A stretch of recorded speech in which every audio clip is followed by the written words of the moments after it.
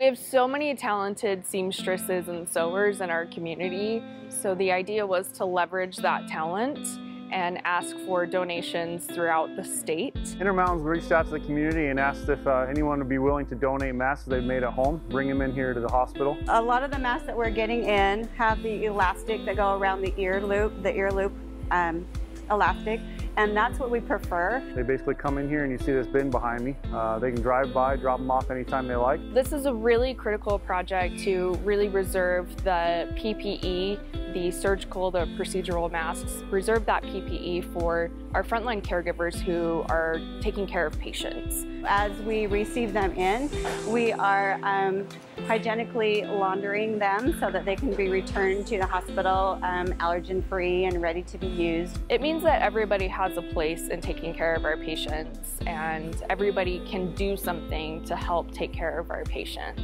We're using a metal detector to make sure that there's no pins or needles or anything that are in the masks that are being donated.